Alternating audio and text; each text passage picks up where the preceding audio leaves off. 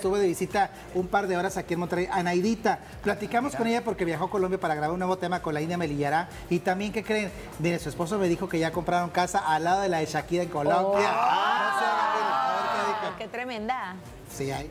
Eh, terminando todos los detalles del nuevo eh, lanzamiento que vamos a hacer al lado de esta gran señorona, la India Melillara, que hicimos un collage de música bien, bien colombianota y fuimos a grabar el video allá en Colombia, estuvimos en varios paisajes bellos de, Cartagena, en Barú, etcétera, etcétera, y van a ver que les va a encantar. Obviamente, eh, como mujer, aparte que la admiro mucho por ser eh, una de las, de las cantautoras eh, más reconocidas, no a nivel local, sino que a nivel mundial.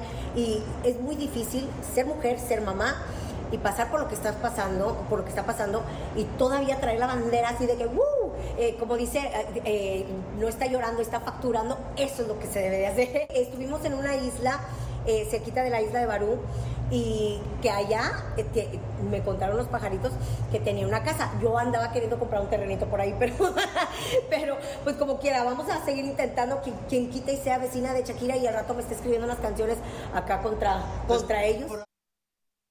Su esposo que efectivamente van a adquirir esa propiedad al lado de Shakira. Entonces, vamos a que nos invite, ¿verdad?